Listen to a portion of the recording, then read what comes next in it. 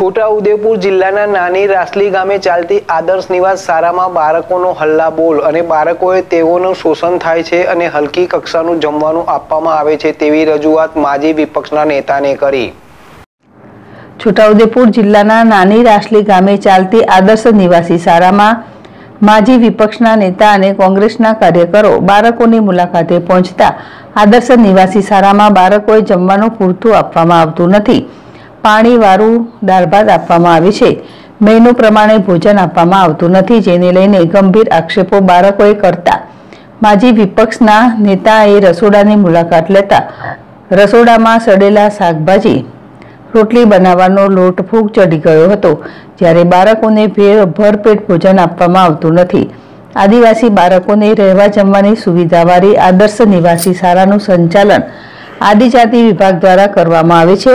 અને રાજ્ય સરકાર ગ્રાન્ટ ફાળવે છે અને શાળાના વોર્ડનને અને આચાર્ય પણ હાજર ન હતા. જ્યારે આ બાબતે શિક્ષકો જવાબ આપવાનું ટાળી ભાગવા લાગ્યા હતા.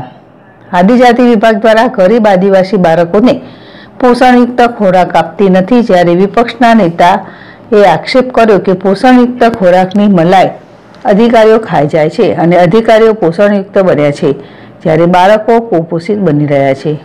ત્યારે બાળકોએ માજી વિપક્ષના નેતા આક્રમક રજૂઆત કરતા બધી સમસ્યાઓની જાણકારી આપી હતી. રફીક ડણીવાલા છેડેશ ટીવી છોટાઉદેપુર.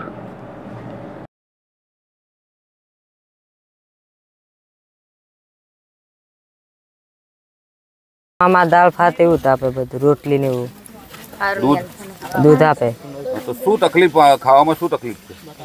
પાણી બટાકા ને ઉતારે. પાણી જેવું જ બધું. બોલ ને ના ફરાતું પેટ. પાઈ જેતપુર રાસલીની આ મુલાકાત દરમિયાન છોકરાઓને જમવાનું અપૂરતું મળે છે. એવી ફરિયાદ છોકરાઓની પણ મળી છે. સાથે સાથે રસોડામાં ચેક કરતા શાકભાજી જે આવ્યું છે. ગઈકાલે સાંજે જ આવ્યું છે એમ કહેવામાં આવે છે. એ શાક ભાજી આખી બગડી ગયેલી હતી. પકડાય પણ એ જર્જરિત થઈ ગઈ હતી. એને ખાઈ પણ શકાય નહીં ફેંકી દેવાની હોય. સાથે સાથે દૂધી અને ટામેટાં પણ હતા. એમાં પણ ફૂગ આવેલી હતી. એટલે કહી શકાય કે આદિવાસી વિસ્તારમાં આદિવાસી બાળકોને આ કુપોષિત અનાજનું ખવડાવવામાં આવે છે અને આદિવાસીઓને જેમ પુણ્યાવટમાં થયું તેવો બીજો બનાવ ન બને એની સરકારે કાળજી રાખવી જોઈએ. ભ્રષ્ટાચારી અધિકારીઓ છે. આખું ગુજરાત જ ભ્રષ્ટાચાર વાળું છે તો તમે અધિકારીઓ ક્યાં વાત કરો? આખું સરકાર ભ્રષ્ટાચારી છે. આદિવાસી બાળકોનું શોષણ? શોષણ તો થઈ રહ્યું છે તમે દેખો છો ને. કોઈની વાચા ત્યાં ફૂટતી નથી. વાચા ફૂટે છે દબાઈ દેવામાં આવે છે. આ સત્ય વાત કરવામાં તમારી સામે મને કોઈ બીક નથી.